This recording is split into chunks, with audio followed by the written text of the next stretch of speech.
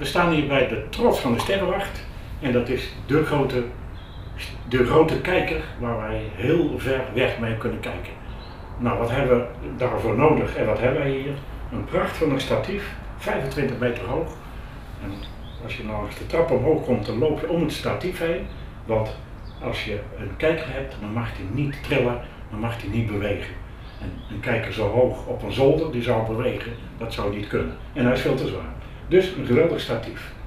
Het tweede, wat een goede kijker heeft, en deze dus ook zeker, is dat er een as zit. Een as waarom de kijker kan draaien. En deze as is gericht op de Poolster. En waarom is dat? Omdat de Poolster in het verlengde van de aardas ligt.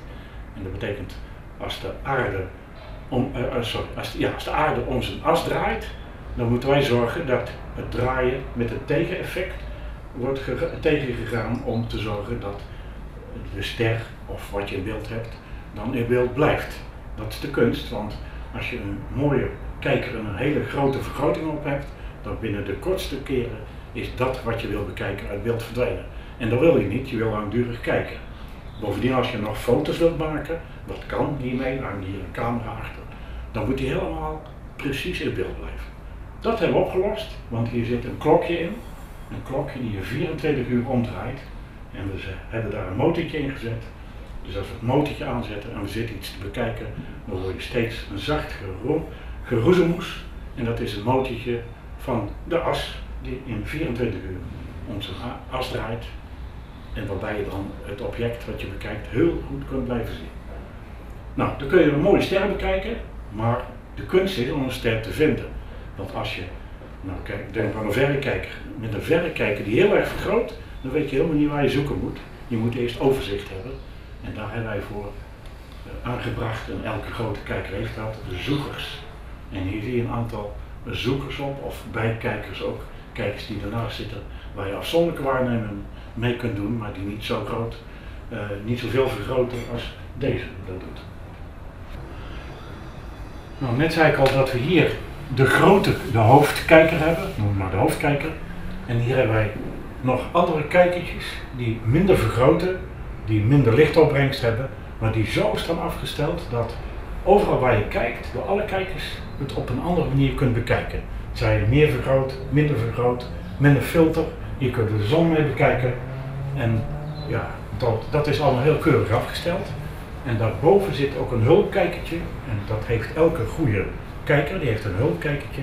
En dat dient ervoor om dat als je iets zoekt wat heel ver weg is, is het heel moeilijk te vinden. En dan moet je met een niet al te vergroting, zeg maar zo zeven keer, zoals een gewone verrekijker, uh, een beetje kennis van wat je uh, zou kunnen zien, richt je dan op het object of in de buurt. Dan weet je dat je goed zit en dan ga je het verfijnd opzoeken met de grote kijker of met het motortje wat erbij zit. Er zit een motortje bij die, zoals ik al zei, bijhoudt de draaiing van de aardas. En er zit ook een motortje bij waar je toch nog omhoog en naar beneden of naar links of naar rechts kunt. Zodat je niet iedere keer hele grote bewegingen hoeft te maken. Het kan ook snel, maar doorgaans is het effectiever om uh, ja, globaal in de richting te zetten en daarna verfijnd af te stemmen. Op te zoeken dus met een rolkijker daarachter. En dan kun je kiezen door welke kijker je gaat waarnemen. Waarbij dit natuurlijk het allermooiste is, want die heeft de grootste vergroting. Als je naar sterren kijkt, dan heb je natuurlijk dus de kijker, de grote kijker zelf, dat zit hier, dat is dat gedeelte. Maar bij een kijker hoort een oculaire. Als ik denk aan de gewone verrekijker, een verrekijker 7 keer 50 dan heb je twee grote glazen, nou dat is dan van 50 mm in dat geval. En de kleine glaasjes, dat zijn oculaire. En de oculaire bepalen de vergroting. Nou, wij willen in het donker niet zo hebben dat wij door een oculairtje steeds te verwisselen en het donker is, dat ding uit ons handen valt en op de grond valt. Of je in de zak steekt en niet meer weet wat het is en een lampje erbij moet doen om te kijken welke oculair je hebt, hebben we gezegd, nee weet je wat, we maken hier een revolver uh, van. En met de revolver systematiek kun je door gewoon te draaien, kun je andere oculairtjes opzetten. Maar hier kijk je dus doorheen, dit zijn de oculaire. Ja. En als je snel wil wisselen, dan draai je de oculaires rond. Ja. En dan pak je de volgende, of je draait ze weer terug. En dan kun je met de wisselende vergrotingen uh, beter zien of minder goed zien. Dat hangt er vanaf. ja, wat je, waar je naar kijkt. Nou, we zijn hier in de tentoonstellingsruimte. Dat is een onderdeel van de rondleiding die iedere zondag, of als mensen een rondleiding bestellen, dan nemen we dit ook in de rondleiding op. En waarom hebben die tentoonstellingsruimte? Je ziet het al als je om je heen kijkt, zie je heel veel kijkers staan, allerlei type kijkers. Nou, wat we je dus vertellen is, welke type kijkers zijn er zoal? En heel veel mensen hebben in de familie wel een kijker of wel eens ergens gezien. En die hebben een aanknopingspunt. En hier maken we duidelijk waarom die verschillen er zijn van kijkers. Als ik even naar die kant loop. Dit is een lenzenkijker. Een refractor heet dat, heel mooi. Ja, zijn het allemaal. Een refractor. En dat betekent, daar kijk je achter. En je kunt het rechtstreeks kijken of met een hoekje. Maar je kijkt in feite recht door de kijker. Een ander type belangrijke kijker zijn de, uh, de refractorkijkers. Uh, de spiegelkijkers, laat ik het beter zeggen. De spiegelkijkers, dan zit achterin een spiegel. En dan neem je niet rechtstreeks waar, maar zie je voorin een gaatje waar je doorheen kijkt. Dat zijn de hoofdtype kijkers. Allerlei soorten, kleintjes tot grote. En nou, meestal beginnen ze, als je met sterrenkijken begint en je koopt wat, een kleine kijker. Meestal kopen ze zo'n eenvoudige kijker als dit. En wil je gevorderde, je verder kijken, dan nemen ze kijkers die veel duurder, groter en beter zijn. Als je begint, even een tip, begin nooit met zo'n grote verrekijker sterren te kijken, maar koop eerst maar eens een verrekijker, 7 keer 50 daarna misschien een kijker die wat groter is, 15 keer 20 en leer de sterrenhemel eerst gewoon kijken. Nou, wat we hier nog meer doen is dat we aandacht besteden, en dat zie je hier op de achtergrond, aan ruimtevaart. En dat is hier op de Sterrenwacht gekomen, omdat Volkssterrenwacht Simon Stevin, zoals het vroeger hier heette, uh, meedeed bij de lancering van de Apollo 11.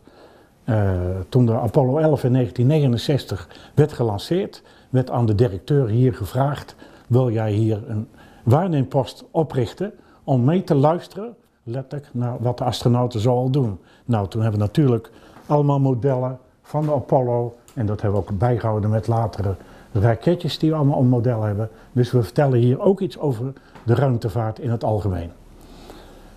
Nou, het volgende is dat we natuurlijk ook iets over licht moeten vertellen.